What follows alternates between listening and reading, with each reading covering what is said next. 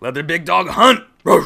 That's what it says here in the script, and I like it. Mitty travels to Leland. Softball time, top one. Mitty with the runner at second. Danielle Bowers powers this one up the middle, scoring as Haley Wims Mitty up 2 0 after one. The Monarchs looking for more, but a nice diving catch right here by Leland. Shortstop just laying out Kelsey Barella with a nice snag.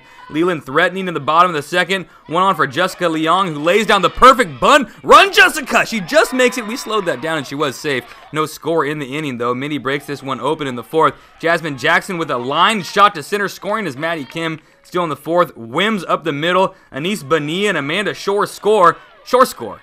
Short score. I kind of like that a little bit. It's 5 0 Mitty. Still in the fourth, Bowers bounces it through the left side. Wims scores now, all part of an eight run fourth inning. It's going to be starting pitcher Desiree Severance with a bomb to center. Bowers is going to score on this long double right here. The girl is just absolutely beating the fence out there in the outfield. Now here's Benia driving it down the line and left. Catapant scores and Mitty rolls 10 to nothing final score. The victorious Monarchs meet with our Robert Bronstein at the One Workplace corporate headquarters in Santa Clara.